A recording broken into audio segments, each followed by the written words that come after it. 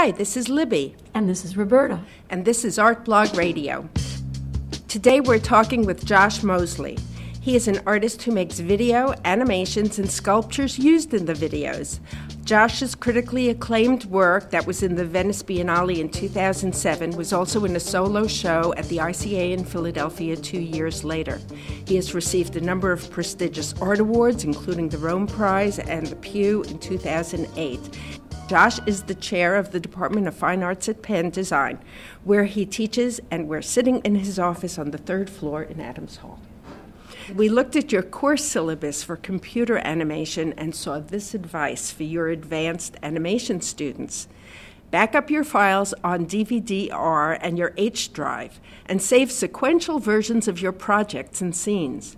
Files stored on lab computers may become corrupt or deleted at any time. So, have you had tragedy strike you on your computer? Yeah, yeah. So, when I was in school, I lost everything. I lost everything that I did in the first two months of grad school and started over. And all of the graduate students lost everything that they were working on because we all shared one hard drive. Um, we all we all had uh, one. I don't remember how big it was. Maybe 100 meg hard drive or 500 meg hard drive, and um, we were working on SGI computers, and so we didn't. Um, it wasn't as simple as putting in a disk and backing up because there wasn't any disk that was large enough. Uh, the whole department had one CD-ROM burner, um, and this is at a computer that was uh, at a school at their institute that was pretty um, far along with computers. What, what's um, SGI? Uh, Silicon Graphics Computer. It's a company that um, made servers and large computers in the late 80s, 90s, and and so they were the computers that you needed to make 3D animation before you could do that on uh, Windows or Macintosh. So, have you ever written code yourself? You sound like you're so inside the computer that you might have at some point yeah. written your own code. Yeah. For, for what, what purpose? Well, for example, in um, Beirut, when um, they're under when it's under the water and there's the things that are rotating around, um, there's a, small program that control controls a large number of things. There, there's something that controls the speed of it that's a program, a small program. These aren't complicated programs like um, some of my computer animation students here at Penn. If they're coming from the engineering side, they've taken several, several semesters of programming. But I'm, but my, my, it's like it's like understanding another language. I can't speak fluently in it, but I kind of understand the underlying principles. So I can I, I use reference books a lot. Uh, I, I I tried to use it in grad school to come up with an idea.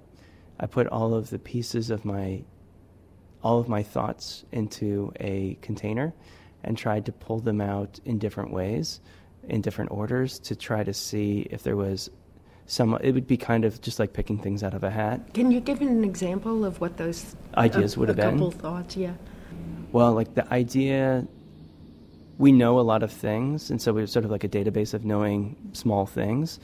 Like as you're sitting there during the day, you would you you sort of um, you refer to a lot of things that you know. That would be like one of the ideas. And then another idea would be the distance between Bill Gates and everything else. Um, that the company was, the market part of the company was virtual, was different than the, than the product part of it. I have these two ideas, and now should I put them together or should they be uh, a linear? Should there be a linear transition? And so it was kind of a, an intermediate step to th- figuring out, well, in my work, how should I deal with having two ideas that are actually overlapping but kind of. Um, so let's get yeah. right into your work then, okay, because yeah. that duality absolutely is in some of the work that I'm familiar with, where you have two individuals who are historical characters like Pascal and Rousseau in your work Dread, which was in the Venice Biennale and at the ICA in 2009. Um, and they never met in the real world, but you have them meet. So, can you talk about why you you did that, the pairing of the two? I thought that Pascal was Pascal was a central character. I think in order to show him, I had to have the questions that putting him next to Rousseau would raise because he became he became a sharper character basically I think I kept reading it I kept reading Rousseau looking for something that didn't make him like an idiot. And uh, like, um, I, I, guess I kept I kept looking for that, and I then I started to use him to sort of sharpen up Pascal. I think Pascal at certain t- like believed in God at certain times, but I don't think that that interfered with his logic. And Rousseau's I thought was like he's like kind of inhibited by his by his spiritual belief. So by having them together, I think that, that I could I could sharpen Pascal's re- resolve about seeing and believing by, by putting them together. By putting them together, I didn't. I but I don't know when I start out a project that that's what's going to happen. I, did, I didn't know that, and, and and usually it does take me like a good six or six or nine months to to feel a, a full sense of what I'm working on. It's not exactly that animation takes a lot of time, but if there's not a consistency then it rambles. I guess I'm trying to wait until things bubble down a little bit so that when I make a five minute piece, um, I'm going to be kind of rationally dealing with a topic. Otherwise, I would go from something like complete abstraction to something representational, and um, and then I would be trying to resolve it in editing rather than resolving it. Um, I try to let it bubble down a little bit. So we've been talking a lot about how you do what you do, mm-hmm. but I want to know more about what it is that you're making work about in a way. I sort of feel like when I look at your um, at your videos that there's a sadness to them and a surreal quality to them. I, and they're funny too. I mean, they have a, a humor in them. And it's the content that makes this work, in addition to its technical wizardry. It's the content that makes it amazing. I think that well, there's the two kinds of content, and I'm I'm really paying attention to that right now in the part of the project that I'm doing. One of the kinds of content that I've been dealing with is the the historical things that I'm collaging together. But then there's the content that you're talking about, which is the emotional, yeah, the, yeah, and and I think that that has been um, another character, and there's a moment of silence, and there's a look of when puppets are looking at each other, and when they're still and the environment's moving. There's an, there's an expression there. So we're sitting at a table, and it's filled with these drawings of um, they're sort of abstracted imagery. And I'm wondering how you get from abstracted imagery to um, to this feeling. No, I don't expect, I, guess I don't expect these images to lead me towards that feeling. What I'm trying to do with the images is take a step towards getting to the feeling without using the technique that I've used before. The feeling changes. I'm sure the feeling changes, but in, uh, so one thing that I'm thinking about now is the kind of feeling that that there's a series of events that are outside of your control. You observe things, you start to see a pattern, you see the pattern happening, and that's outside of your control and then and then you can respond to that in multiple ways. You can say, and that's like Rousseau, and that's the power of God, or you can in Pascal, and there can be sort of a simultaneously like in, inner fascination and inner terror. Like if you start to think of yourself as being like another living thing, and you watch the other living thing um, grow up and die, then you see everything. You see these these forces being stronger than your imagination.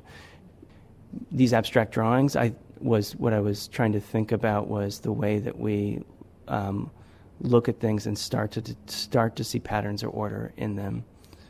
And this may be a part of the animation, but I want to have two non-historically specific characters playing a game. There's an onlooker who's watching the game, and then from a fourth perspective, there's the film being made. Game is a game where someone hits a ball and then the ball ricochets off of a number of surfaces. There's no story necessarily because the story is something that um, I'm pretty clear. I'm getting, I guess I'm, I'm pretty clear that the story is something that happens on the side of the animation after it's made. What do you mean by that? That it's um, uh, it's what people take away from it. It's the oh, it's the recollection of the animation is the story. You have a fish drawing on the wall mm-hmm. that you said was going somewhere. Yeah. Can you explain a little bit more There about where poem that's going? when I when I was in residence in Rome in 2007 or 2006. I was reading something that I was reading a poem written more than 2,000 years ago, and it was about a large number of things. And the one thing that I extracted from it that I think is going to survive in my animation is the idea that when a fish swims, it's moving from place A to place B. Place A used to have the fish in it, and now it needs to have water in it, so it creates a vacuum that needs to have water go into the place where it used to be in order to move to the second place. I thought that that was. Uh, enough to stop reading and just close the book and think about for a while, like um, because uh, because this is this is science before its time. The idea that something that you have to replace something with something, you can't replace it with nothing. Do you think that having a child has had any influence on the work that you make? I don't know what it is, um, but I'm sure um, because I, because a lot of things have had. Uh, I, I think that the animations should work on multiple levels. I, I, there's so many ways to answer that question. I, I don't know. I mean, one is that I. it's it's sort of like a observing the way that learning happens at, at an earlier stage. Um, it, it's a it's a it's kind of a fresh it's a fresh review of the way that our minds work and the way that our the way that we take in things. Um, like to have an interaction with a two year old where you say a word and you hear them repeat it wrongly, and then you say it again and you hear them repeat it uh, less wrongly. It progresses a little bit, and you realize that you're learning how to hear simultaneously with learning how to speak, and probably the that means that that has to relate to you're learning how to see at the same time that you're learning how to draw. You, are narrowing in basically on, on understanding things, and you pretty much um, will never be there. And you start to recognize types of things, um, categorize them, and then at a certain point you shut off and you stop learning. The stopping to me is as interesting as the starting.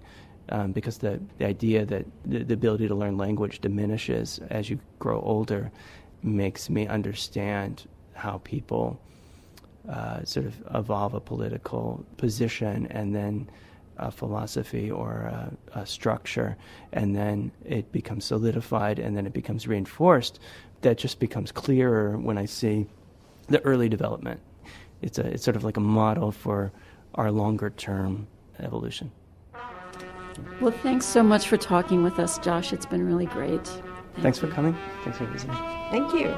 Artblog Radio is brought to you by theartblog.org. Thanks to our sponsors, including the Knight Foundation. Also, we want to thank Peter Crimmins, who makes us sound good. He's our editor. And thanks to Eric Biondo for his music. You can download these podcasts at theartblog.org slash radio.